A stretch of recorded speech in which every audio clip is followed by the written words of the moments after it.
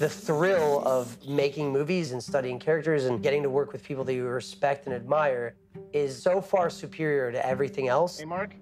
At least for me, you know, that's how I how I think about things. To be or not to be. The actor Anton Yelchin is with me, and you are shooting yet again something. Yeah. It was like the first thing I consciously said to my folks, I want to do this. I want to make movies.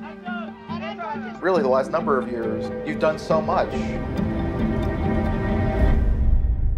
Next tonight, here to the stunning death in Hollywood. Police are saying it appears to be a freak accident that killed the 27 year old actor. The random events that had to occur for this to happen were, were just cataclysmically unfair, you know.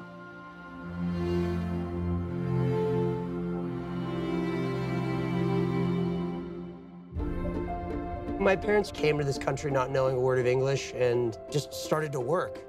My mom, I owe her everything for believing in me. He had a curiosity that with most people degrades over time. I was so kind of baffled by how good he was. I wanted to be better, smarter, cooler, but couldn't even hang with him. Who he was as an artist was so far beyond acting because he could like do everything.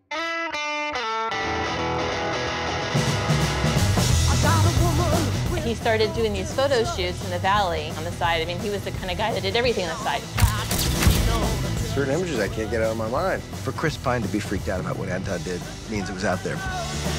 There's always that courage to go into the darker parts of himself. What are you waiting for? Were you always confident that you are good enough to make it in the industry? I mean, I'm still not very confident in that. One more, right away. He was always going further than the rest of us. I don't think he gave himself much of a break. He was so intent to find situations that would challenge him. I want to make things and I want to express a particular point of view that I have. When he was little, every day he would trade cards.